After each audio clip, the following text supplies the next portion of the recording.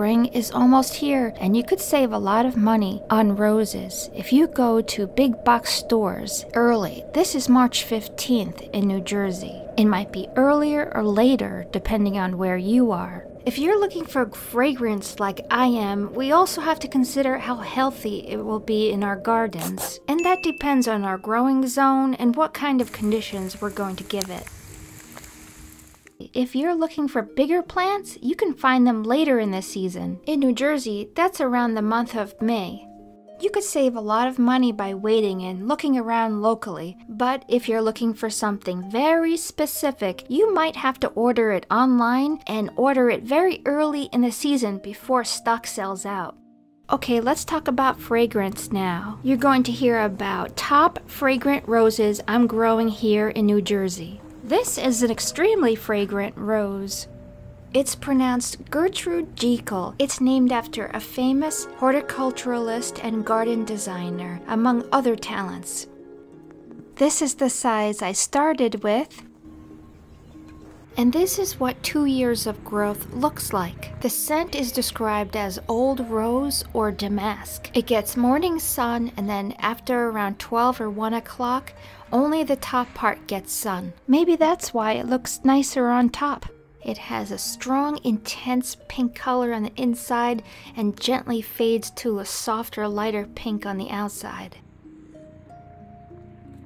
To the right, that yellow rose is Crown Princess Margareta struggling in the shade. It has a nice fragrance, but it's nowhere near the strength of this one. This tiny one over here is Comte de Chambord. I've read many accounts of this rose, but I've never smelled the rose personally. It's supposed to be one of the most fragrant roses ever. This other puny rose is also supposed to be very fragrant. It's called Rose de Rescht, and it's my first time growing it. When we first moved here a few years ago, in the deep shade over here, there was actually a rose barely alive. So I just ignored it and left it be. Well, one summer, I smelled the most wonderful smell I've ever experienced, and it turns out it was that rose. And that was where all my interest in fragrant roses began, from just two or three flowers on this one cane. If you're wondering the name of this rose, I have good news. When I was transplanting it, I saw at the base of the plant, practically strangling it, was the label. It's called Bonita Renaissance. So I transplanted that rose into a sunnier location. I've never seen bees go after a rose so intensely. I don't even like orange roses, but the fragrance was like out of this world. I guess me and these bees have something in common. Now I have it protected in a much sunnier spot. The weird thing is, it wasn't as fragrant here, but I know it can be extremely fragrant, so I'm going to see how it does over the years as it gets stronger. This rose is a David Austin rose called The Poet's Wife. It's advertised as very fragrant, and I have to say, it really is. The fragrance is very fruity. It's still a new introduction in my garden, so I can't fairly judge its health yet. I've heard a lot about the fragrance of this one, and I saw it in person at a rose garden. It had a nice fragrance, so I wanted to try it at home. I'll let you know how that goes in summer.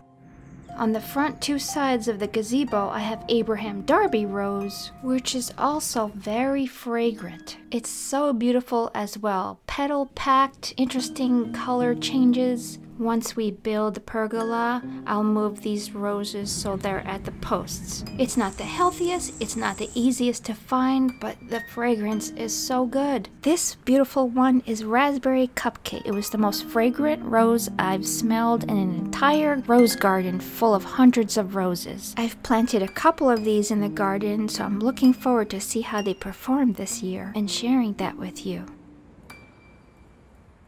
If you want a really easy, healthy rose with fragrance, this is the one you should get. It's kind of like a knockout rose, but with fragrance. It's Brindabella Purple Prince. For me, the color ranges from purple to fuchsia to a deep, intense pink. It's not going to have a zillion petals like those English roses, but it can hold its own. The good fragrance and health really surprised me.